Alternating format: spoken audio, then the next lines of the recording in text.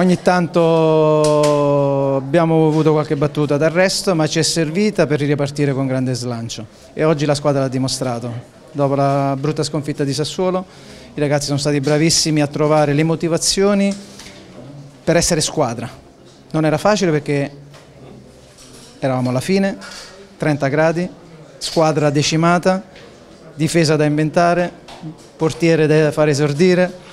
tante belle storie, quindi veramente oggi sono l'uomo più felice del mondo perché mi aspettavo, speravo un finale del genere. In una, in una, squadra ci vogliono i giovani perché sono freschi, sono delle spugne, imparano in fretta, eh, ti seguono fino alla morte e quindi in ogni squadra ci vuole il giusto mix tra giocatori di una certa esperienza ma anche tanti giovani che nei momenti anche di difficoltà con la loro esuberanza, con il loro entusiasmo, con la loro freschezza atletica ti possono dare una grande mano e oggi credo l'abbiano dimostrato. Ma hanno avuto due infortuni e quindi hanno accentuato ancora di più l'emergenza eh, e quindi ancora la dimostrazione di quel, del capolavoro che hanno fatto oggi i ragazzi. È stata un'emozione indescrivibile per me poter giocare questa partita, per i valori che aveva appunto l'ultima in questo grande stadio contro la mia ex squadra, i miei ex compagni. Sono contento per come è andata e non c'è niente da dire, faccio i complimenti a tutta la squadra che mi ha aiutato anche tutta la stagione, mi, ha, mi hanno martellato però mi hanno aiutato a crescere e per questo gliene sarò sempre grato. Comunque noi ai nostri esordi siamo emozionati, io penso di esserlo stato tanto, però mi ha aiutato, mi ha aiutato, sono rimasto concentrato tutta la partita, ho pensato a quello che dovevo fare, eh, quando è finita è stata per me una liberazione, una grande emozione. Io sono venuto qua con il pensiero di dover migliorare, di dover eh, dare il massimo per eh, ripartire. Appunto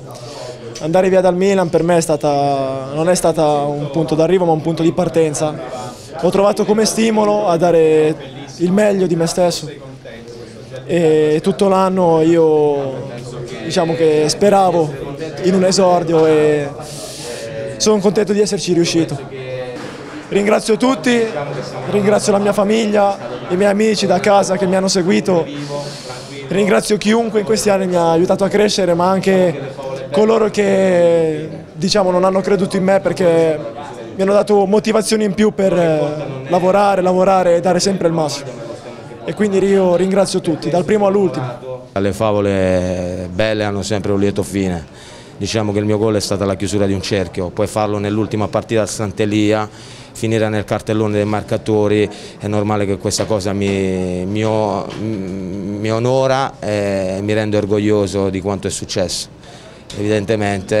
eh, ho lavorato eh, talmente tanto che alla fine penso me lo sia meritato me la sia meritata una giornata così. Col lavoro ho combattuto per giocare in Serie A